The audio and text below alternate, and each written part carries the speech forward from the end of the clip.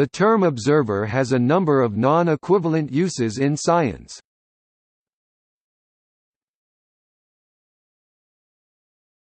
Topic: Special relativity. The term observer in special relativity refers most commonly to an inertial reference frame. In such cases an inertial reference frame may be called an inertial observer to avoid ambiguity. Note that these uses differ significantly from the ordinary English meaning of observer. Reference frames are inherently non-local constructs, covering all of space and time or a non-trivial part of it, thus it does not make sense to speak of an observer in the special relativistic sense having a location, except for denoting the origin of his reference frame.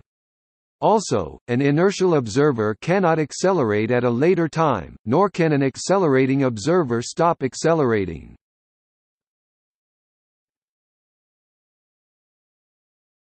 Topic: General relativity.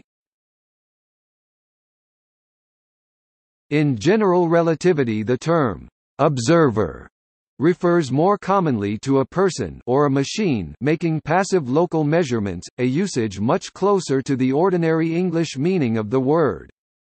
Commonly used are FIDO fiducial observer, stationary, FFO free-falling observer, ZAMO zero angular momentum observer, corotating.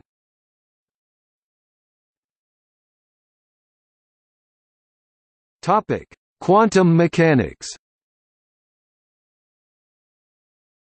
In quantum mechanics, observation is synonymous with quantum measurement and observer with a measurement apparatus and observable with what can be measured.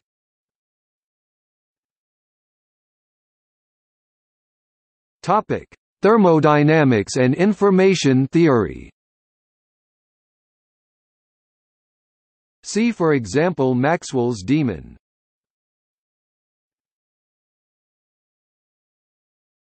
Topic: See also.